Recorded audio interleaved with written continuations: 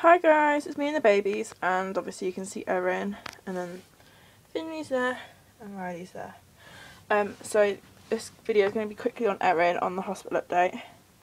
Um, so on Wednesday it was my last day at school, and I rang the doctors about their allergy tests, and they said bring her in on Thursday. So on Thursday I took her to the doctors, and they did her allergy test with her there and then. Um, and then I got the results yesterday for it. Um, and she isn't allergic to obviously cats and um, things like that because obviously that's what we were worried about because obviously Riley's allergic to cats, penicillin and carrots.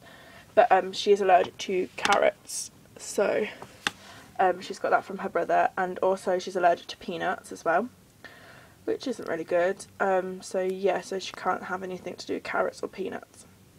So that's Erin. And then Finley's here. He's not been very well.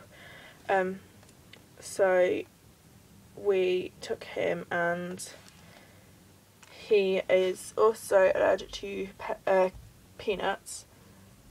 Um, peanuts and bananas as well was one of the things that he was allergic to. Um, so she's allergic to carrots and peanuts, and he's allergic to bananas and peanuts. So yeah, that's the allergy tests done.